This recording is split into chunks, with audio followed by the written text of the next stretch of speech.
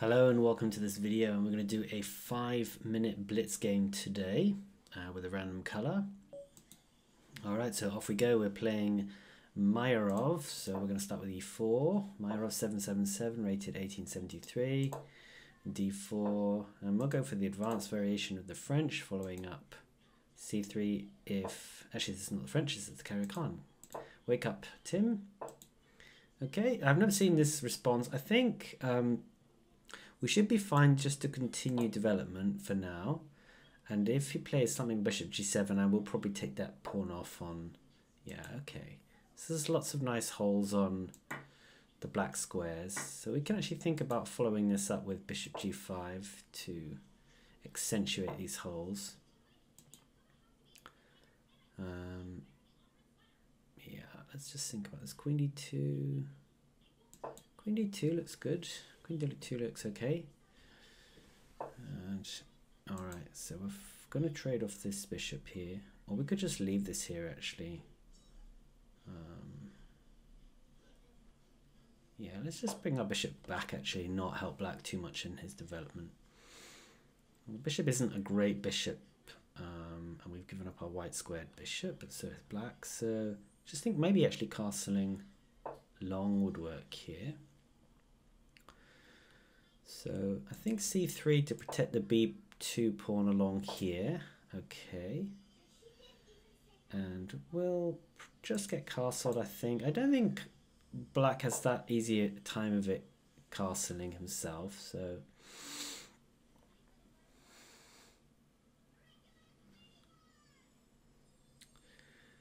It's going to play knight a3 to get the knight developed. Bring the knight back to c2. We might need to play rook to b1, okay. So I'm actually going to play here bishop takes because I don't really want to keep my bishop.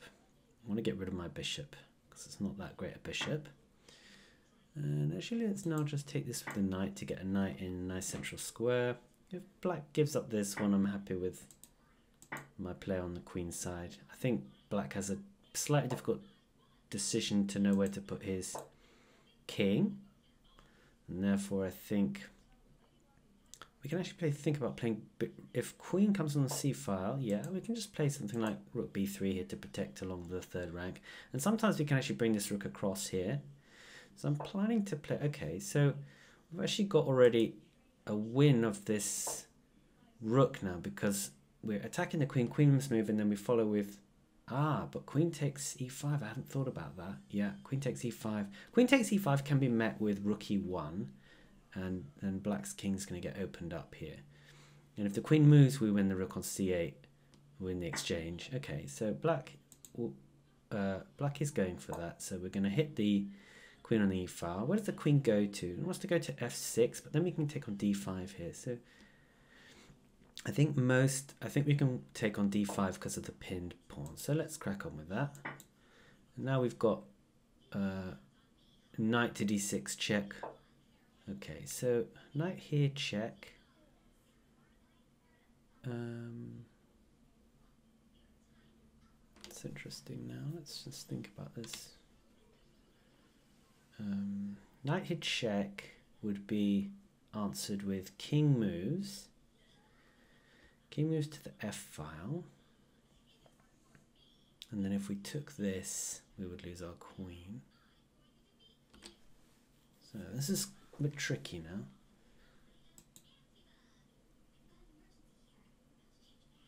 Let's actually go queen d4. Queen d4, now we're threatening knight d6 check to win the rook, and we're also threatening the rook on h8. So it's rather difficult to I mean, 95, yeah, there's no, you can castle here. And the castling does work actually, yeah, that's nice. then queen f6 looks pretty strong. If we play knight here first, then I guess rook will pin the queen. So let's go in here. Hitting, then I have to play knight g6 now to protect the knight and the h6 pawn.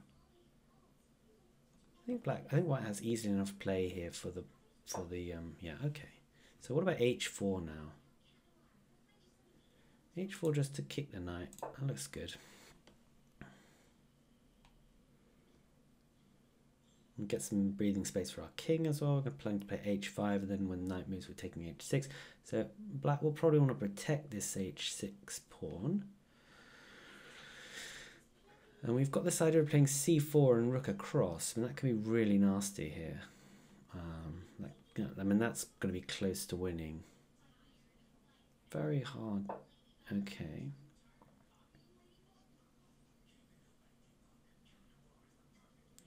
I think we're just going to push on with h5 here because um, this is going to open everything up. I mean, if we get takes, takes, this has got to be winning for white. So if the knight moves, we can move our knight somewhere. We've also got some ideas of rook e6 because that's going to be pretty nice. I think white's pretty close to winning here. It's just a question of whether I can hold it together. Let's just see. So I don't see any good squares for the knight. Okay, so then we take the knight with check. So that doesn't look good because then we've got rook e6, queen e7 check. And then after the king moves, king g8's bad because of queen takes e6 check. And now we can just move our knight here, I think. And I think we're just a piece up now, fairly comfortably. You can't play rook e8 because the knight's covering that square and we're threatening to take on e6. We're threatening. Well, I don't think you can stop taking on e6. I think this is. I think this is gone now. So I think white will. I think black will resign fairly quickly. Um, I don't see a way to hold everything together. Um, rook, rook c7. Rook c7 may be a move actually. Rook c7 just um, queen takes e6 check. I think looks good. Yeah, I think this is gone now. We'll just wait for resignation.